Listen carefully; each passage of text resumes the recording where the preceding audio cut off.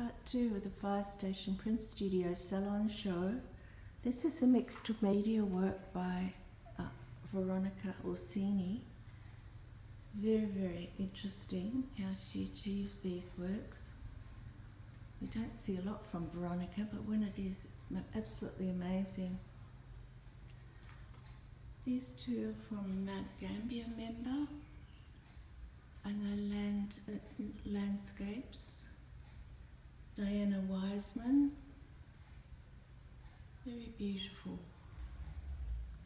And of course, this is Bronwyn Reese's um, works. It's the next three. She's, these are the ones that she did in Cairns on a residency up there.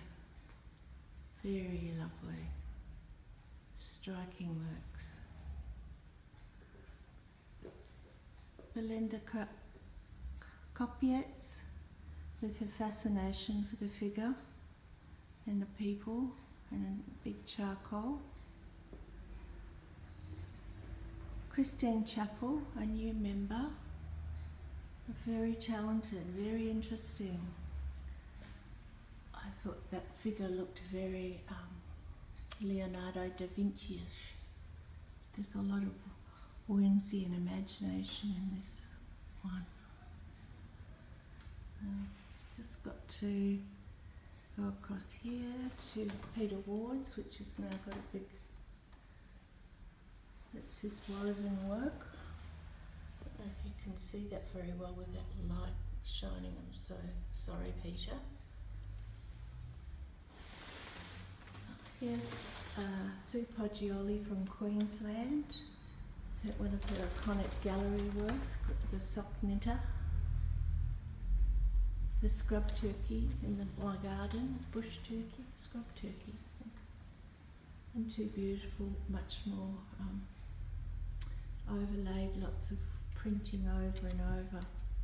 Really, really, really beautiful lino works.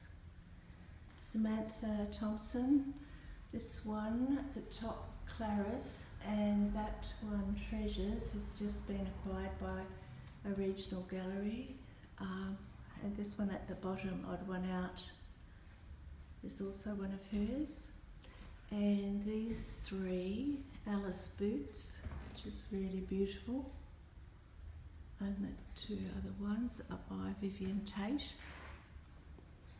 Um, these ones here are by Kerry Taylor, who's just come down from um, Darwin,